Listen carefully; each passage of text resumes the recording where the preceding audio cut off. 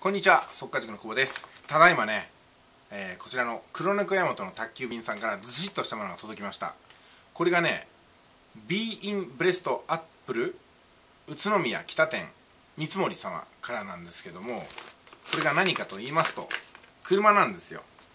車の何やって話になりますね。ちょっと開けてみますね。えーとあ見てくださいこれ。真っ赤なね。これ。すごいたっぷり入ってますね、えー、実はこの度ねセルシオをお願いして6月の中旬ぐらいだったかな話まとめたんですけどもこの7月の末ぐらいに納車ということでいろいろとね細かいところまでやってくださったと思うんですよ。三森さんありがとうございます。で YouTuber の私としては喜びさんでねこれをなんかね動画に残したいなと思います。なんだろうこれ。何か入ってますよ三森さん。これ何でしょうかね。あ鍵ですね。鍵開けていいですか？開けさせてもらいます。丁寧に包んでくださってありがとうございます。あこれリモコンですね。車内のテレビです。後部シートにテレビをつけてくれたと思うんですよ。っていうかついてたんですよね多分ね。でえっ、ー、とセルシオのキーいや久しぶりだなセルシオのキーこんな感じ。溝が入ってるんですよね。普通のキーと違って逆に。溝が入ってるタイプ。感激です。でちなみに今ねこれナイトライダーの T シャツ着てますけども、えーと、ナイト2000の方は車検がまだ戻ってきてません。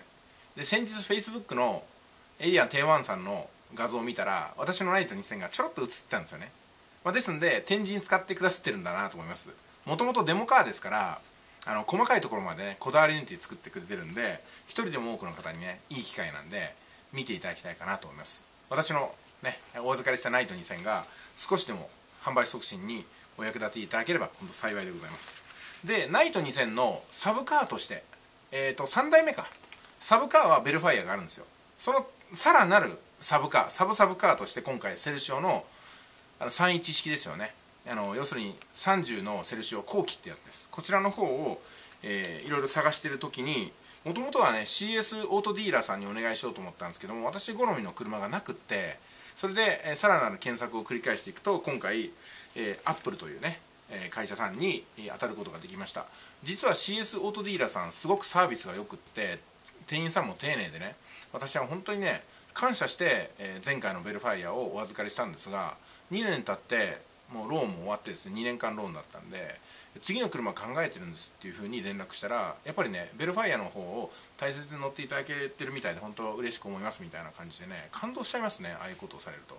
ですんで CS オートディーラーさんで埼玉のねあの購入したかったんですけどもまあ私の求めてる車はなかったんですいませんけども今回はさらなる検索で行き着いたところが宇都宮のアップルという会社だったんですよね。でこのアップルさんも CS オートディーラーさんに本当にね引きを取らないかもうそれ以上と言ってもどういうんかなもうほんとすごい会社ですここも。あのまだ車届いてないんですけどももうね大満足でサポートを細かくこの担当の三森さんがしてくださっててね、えー、本当に嬉しいなと思いますしあの中古車っていうのは本当に選ぶのが難しいんですよね。でもそれは昔のことで今はねこれほど出来上がったサービスマンの方がいらっしゃって誇りを持って仕事をしてくださってで価格も、まあ、私が考えられる限りこんな値段で出していいのみたいなだってセルシオがね乗り出しが100万かからないわけですよ。もう奇跡ですよこれは。あの憧れのセルシオが今ね何代目私も結局10の前期後期20の前期後期30の前期後期って一通り乗ってきたんですけどももう一回だけセルシオ乗りたいなと思ってね。あの実はあの LS をショールームに見に行ったんですけどもじゃもう一回すいませんもう一回セルシオ乗りたいなと思ったんでちょっと LS の方はね断ったんですよね。1800万もしますしね。私にはまだちょっとね勇気がいるかなってところで LS はちょっと50代になってから乗ろうかなと思います。だからもう1回だけセルシオ乗らせていただくということで今回、えー、決めていただきました。今回の決め手はフルエアロであることとローダウンが多少されていることそれからアルミホイルがついていて19インチ。まさに私が求めていたものバッチリなんですよ。そして絶対欠かせないのが後部シートから見えるあの備え付けのテレビなんですよね。テレビモニター。これがやっぱ唯一あったんですよ。というのが私の大和君を後部シートに載せる可能性が高いんでその時にねやっぱテレビ見せてあげたいなと思ったんですよ。そのために このセルシを選んでるもんですよね。で残念なところが革張りじゃないんですよ。私革張りが好きなんでね今回の布張りっていうのはうんまあいまいちかなと思ったんですけどもでもサンルーフついてるからもう万々歳ですね。やっぱりやっぱセルシオはあのトヨタの神様ですよ。